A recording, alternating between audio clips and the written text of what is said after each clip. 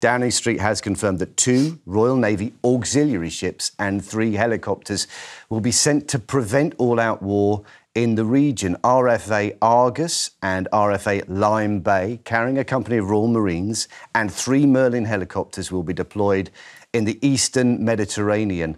The task force won't get involved in any armed conflict, with senior sources saying it will try to tackle a humanitarian crisis and track the movement of weapons to Hamas. It's really interesting that line they're drawing very clearly, oh, Owen, there, that this is about the humanitarian crisis, which suggests it could be there to help people from either side, re- regardless of you know who they represent, given you know that they could be in crisis. Well, what do you make? Well, the British this? government's helping the humanitarian crisis in the first place happen because it's supporting what is a war crime, and that's what we should be talking about: is a war crime being committed with the support of the British government.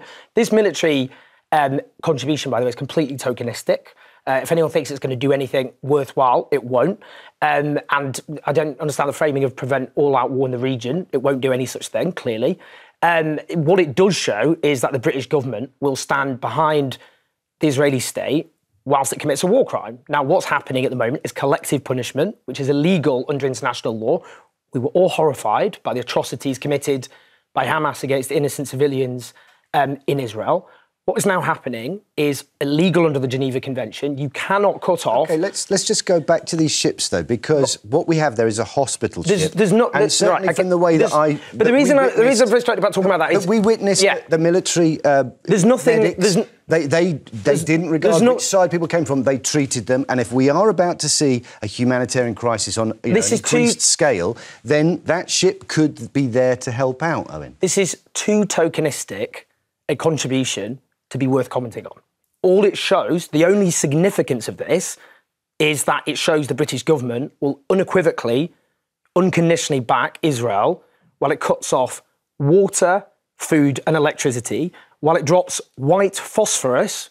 People should Google people should Google white phosphorus. What it does it's like raining fire on civilians. It sticks to your skin and burns it off. It's a war crime to use that against the civilian population. The British government's position is that it will support collective punishment against a population which is the, the, the size, Gaza, of East London. It has 2.2 million people. 80% of them rely on international humanitarian assistance. 50% of them are children. 50% of children. They are hungry, desperate kids. They did not kill those people, those, those poor, innocent people in Israel. And the position of Britain is that the hundreds of Palestinian kids who have already died, more will be killed, as well as medics who are dying, as well as UN officials, journalists, the whole works. I think we, and need, I, I would think say, we I would do say, need some La- balance La- here. we Lowri. gen- genuinely need a bit of balance here. I was talking to a Jewish friend this morning who said, who lives in London, and said that um, her daughter, who's Jewish, is in Paris. Um, is not going out because she's so fearful. Um, you've got the WhatsApp groups in the Jewish community saying to people, you don't go out because they're really worried about um, anti Semitic attacks in the UK, all over the world. So there's a, there's an, you know, if you were Jewish, I think you would feel different. I think you'd feel very afraid. I think the the shock and the the as you always said, the horrific nature of the attacks that happened to um, completely innocent Jew and call- calling civilians is, is is a kind of very it's euphemistic. These were families. These were mothers and fathers and children, and the way they were killed, and the fact that it was absolutely unashamedly. We weren't even trying to get a military target. We were just going kill people in a terrible, terrible way. So I understand. I- I want to- I do- I really have to- I don't Okay, think no, that I really want to focus but- on our subject, Yes, which is and I about think- which is about Completely the purpose tokenistic of military- these Right. ships. I now, think- the I two agree it's ships, just so we're clear, Okay. but just so we're clear, what they're aiming to do is patrol to prevent arms making their way to Hamas. Can I answer within why I just think I'm frustrated about? And in terms also of why the- my, my response is somehow not uh, acceptable? Because I'm saying that the significance of what Britain is doing is through this tokenistic gesture, it's showing that it supports what Israel is doing. And just on, no, no, I have to respond very quickly to that. You're absolutely right. Anti-Semitic incidents always go up during these flares Yeah. of violence. Yeah. That's always true. And every attempt to blame Jewish people for what's happening committed by Israel is anti Semitism. What is also happening, it always happens at the same time, is you get an increase in anti Muslim hate crimes. And they are being spiking in Britain and elsewhere as well. Mm-hmm. But the point I would just make very politely to you is you talked about the fear people have, Jewish people here mm. and in France and elsewhere. The fear of people in Palestine now is based on the fact they are being bombed. They are having white yes, phosphorus dropped on them. Yes. And the reason I'm frustrated and is what caused Pal- Palestinian Hamas no, caused those Palestinian problem. children didn't do that. No, no, of course and they're they paying. And Palestinian children are of equal worth their lives I think that to that of an Israeli child. But I think and also, people aren't saying that in the media. But I, Palestinian think, people are being treated as less yes. than human. Again, this that support, that, this, this, support that's that's been offered, that's that's on its way. What do you there. want us to say about this? I'm genuinely curious. I don't understand what the point. Is. I, am just saying, if, if you look at the purpose of these two ships, yeah. what they're there to do, one is to prevent arms making their way to Hamas. That's a good thing. They're not going to do that. It's a tokenistic and the other, effort. the other is to provide hospital assistance. Now, presumably, that's for whoever needs it, regardless of which side they're. Well, that is aiding in what could be a catastrophic humanitarian crisis. Which, which Britain could stop. Britain could stop by taking a stand against collective punishment, which I, is killing Britain innocent cannot people. stop that. I mean, my fear, my fear when I heard that we were sending this okay. task force was, oh my goodness, we're not getting involved in another war, are we? You know, surely we have learned that when we step into the Middle East, no good thing ever happens there. And I think we've already got Ukraine that we're involved in, and now we're going to be involved in this. It's just like we, I feel like as a country, we've got so many problems here, and yet, yet again, we're getting, whether it's tokenistic, which I think it largely is, here we are getting involved. You just made okay. a great point. Lowri just made an excellent point there which is every single one of these military interventions has been a disaster. Yeah. You're right. Iraq, yeah. Afghanistan, Libya, we could go on. But that's also true with the with Gaza. Every single mm. Israeli onslaught on Gaza killed huge numbers of innocent civilians, and it did not stop Hamas. And you also had Israeli soldiers dying, not anywhere compared to the number of Palestinians. And again, in the last 15 years, before this hideous atrocity which Hamas committed, 96% of the deaths were Palestinian. 96% of the injuries oh. were Palestinian. And we've got to start treating Palestinians as human beings. Because oh. in this discussion in the media at the moment, people are not treating Palestinians as human beings, and that okay. has to stop. Really it's racism, some, and it has to be called. I really want to. I really want to take some calls. Maureen, it, this uh, task force, so-called, we're talking about two two ships, three helicopters. Should we be sending that to the East Mediterranean to, to help? Jeremy, is the good idea. morning. Good morning to everyone. Good morning, Maureen. My question is, why on earth are we having all this trouble in the world after all, we are all the same under the colours of our skin. It does not matter what colour, creed, or colour we are. We I, are all to get on in the world. If I, people have a problem with themselves, why don't the two men in each country go and fight their problems man to man instead of sending all the troops and people to kill each other? Where people are losing their sons, daughters, babies, animals.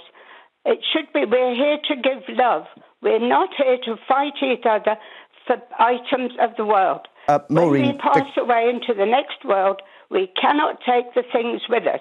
I don't think you'll find much disagreement with most of what you're saying there, Maureen. Specifically. No, I, I, think that's not true. I think Maureen has just made one of the best contributions I've heard in this discussion I... because Maureen just affirmed the equal humanity of Palestinians. And everyone needs to be uh, just actually honest about this. Politicians and journalists, the way they are behaving, they don't think Palestinian children have equal worth. To, okay. Yes, they do, because they're tolerating the mass murder of Israeli I don't, can, think can I, Hamas, I don't think the Hamas people who went in and cut the throats of children regarded them as of equal value. I want We're not arming Maureen, Hamas. I want We're not backing ask Hamas. Maureen specifically about the help that the UK is sending. Do you think it should be going or not? No, I think people, I think the people who run the countries that are causing all this problem should be man to man, get their fists out and fight like men, not send out other people to do the fighting for them. Okay, more. Thank you so much, Maureen. We're going to take another call. Beverly, do you think the UK should be sending ships to the East Mediterranean to to help what could be a terrible humanitarian crisis? Yes, I do. And the reason being is I was in the Six Day War. And I know what these the Hamas and all the others are like. They're cowards. They never stand up and show their faces. They are in Gaza, tunneling under ordinary people's homes and, and creating absolute mayhem. Gaza needs to be flattened.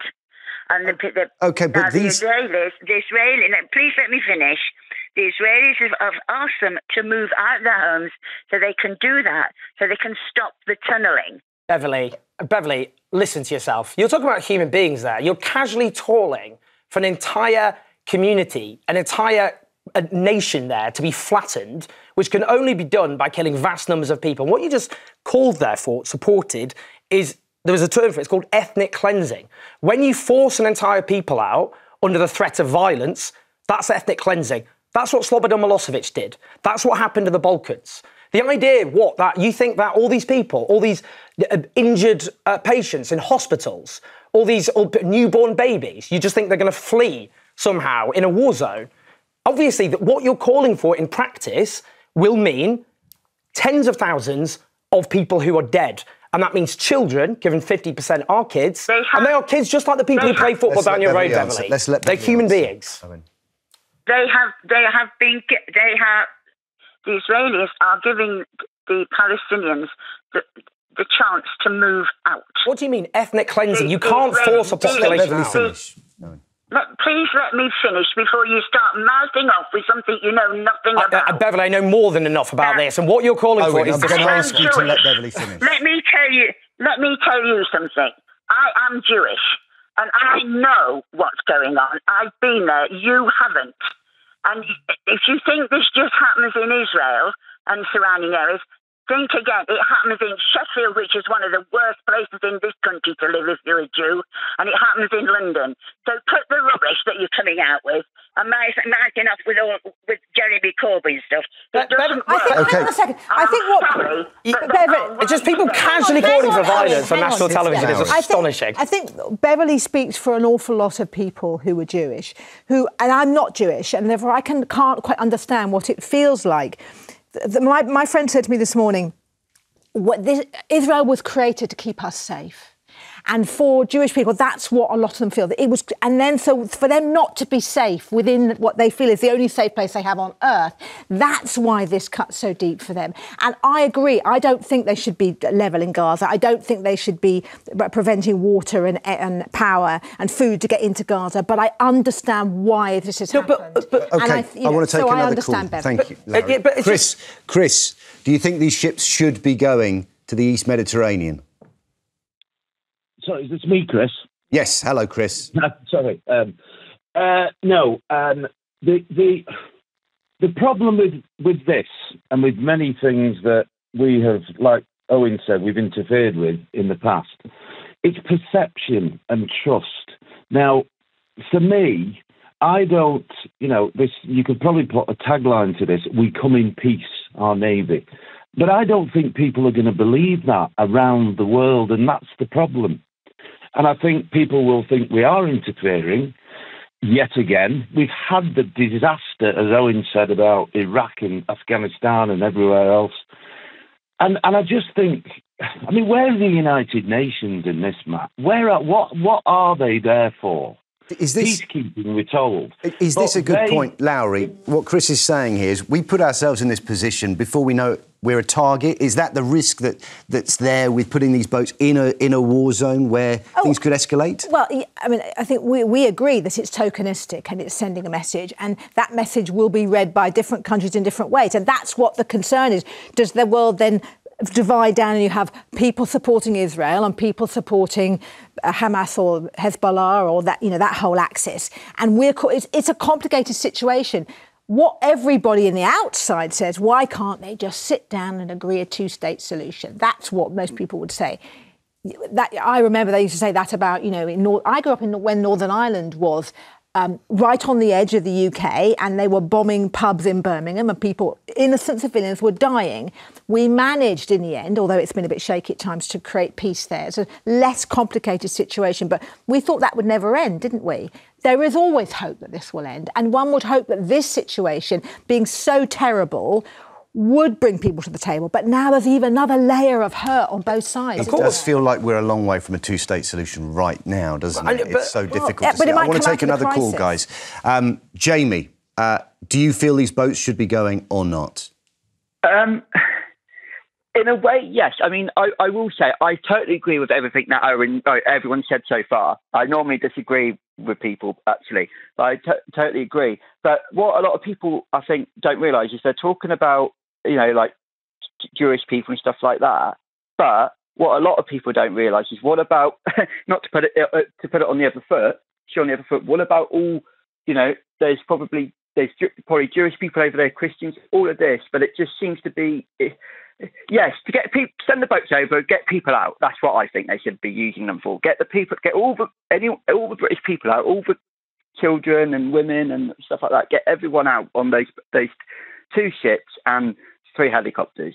I mean, I agree. I agree with everything what what Owen has said. Actually, I agree. I mean, I, the, know, the problem is, Jamie, we're talking about one well, two auxiliary ships, one of which is a hospital ship. We're talking about millions of people who are going to be uh, are going to be leaving their homes and trying to find somewhere to be. So, well, I hope millions of people aren't. Look, the, the history of Palestine since 1948, when you had the Nakba, the catastrophe in which Palestinians were driven from their home, is when Palestinians leave their home, when they're forced from their homes, they never go back. And that, that's why we have now the longest occupation in modern times. Gaza is under international siege, um, uh, sorry, under siege. It has been for 15 years. It's under blockade. It's a tiny, tiny strip of land. It's hugely densely populated. If they are forced to leave, it's ethnic cleansing. That's but, all it is. But uh, do you believe that uh, the Jews have a right to live in Israel under their own state. There is only a lasting peace when Jews and Arabs alike have peace and security. So you're not suggesting the... the, ethnic cleansing of Jews oh, from of Palestine? Not. Of course well, some people not. on the left do believe No, they that. don't believe that. I don't think the vast majority no, of anyone thinks majority, that. Some do. It's absolutely critical that we have Jews and Arabs with peace and security living together. Nobody rational should oppose that. But at the moment, the people who are dying in vast, vast numbers are the Palestinians who've been deprived of their right for national statehood. People talk about Hamas threatening Israel in practical terms, because we saw the horrible atrocity. No one's belittling the horror of what Hamas did. But in practical terms, only Israel has the capacity to destroy the other. And they aren't going to flatten Gaza. And people are saying on national TV okay. they should. Uh, Lowri, um, we're going to have to move on there. Thank you, Jamie, for your call. Thanks to all of that call.